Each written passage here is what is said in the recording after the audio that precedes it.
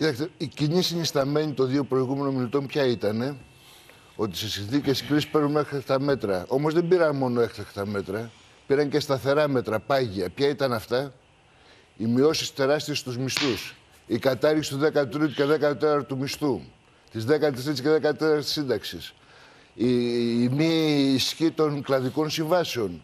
Αυτά ήταν πάγια μέτρα τα οποία τσε- τσάκισαν στην κυριολεξία τα εισοδήματα των εργαζόμενων και των λαϊκών στρωμάτων.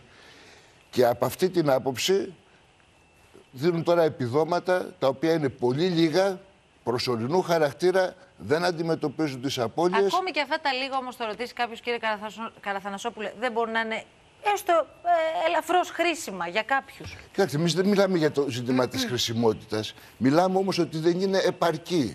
Γιατί, γιατί είναι πολύ λίγα, δεν καλύπτουν τις απώλειες και πάνω απ' όλα. Όχι μόνο δεν καλύπτουν τις απώλειες, δεν αντιμετωπίζουν και τις αιτίες της ακρίβειας. Η ακρίβεια θα συνεχιστεί και θα μεγαλώσει και το 23. Αυτό είναι δεδομένο.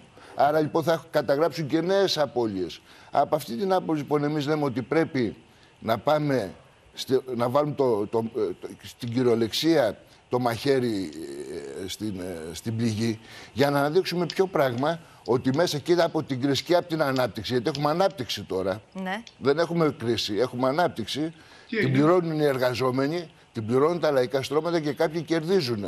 Λοιπόν, θα ζητήσω. Αυτό, και- αυτό, να αυτό σημαίνει λοιπόν ότι πρέπει να απαιτήσουν οι εργαζόμενοι και ο λαός να συγκρουστούν με τις αιτίες και τα προβλήματα που είναι οι πολιτικές που εφαρμόστηκαν για να μπορέσει να υπάρξει Πάνω πραγματική Σφίβος, ανακούφιση. ερωτήσεις.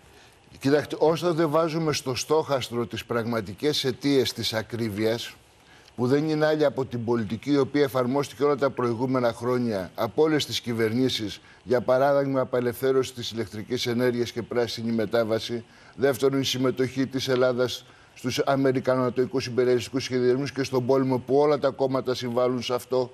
Τρίτον, το γεγονός ότι τσακίστηκαν εργατικά δικαιώματα και μια, έχουμε μια, ένα μηχανισμό αναπαραγωγής εργατικής δύναμης πολύ φτηνής που όλα τα κόμματα βάλαν τη σφραγίδα τους. Ο νόμος Βρούτσι Αχτσιόγλου ισχύει και γι' αυτό είναι αυτό το επίπεδο του κατώτερου μισθού σήμερα για να μην αμφισβητεί τις αντοχές της οικονομίας και την κερδοφορία των επιχειρήσεων. Τρίτον, όταν υπήρξε αυτή η φοροεπιδρομή όλα αυτά τα χρόνια παρόλο τους τσακισμένους μισθούς και τις συντάξεις, τότε καταλαβαίνουν πάρα πολύ καλά γιατί πρέπει να συγκρουστούν με αυτές τις αιτίες η εργατική τάξη και ο λαός, να μην πιστεύει σε σωτήρες, Μάλιστα. γιατί όποιοι σωτήρες τι κάνουν αναδιανομή της φτώχειας και αύξηση των κοινωνικών ανισοτήτων. Συμπέρασμα,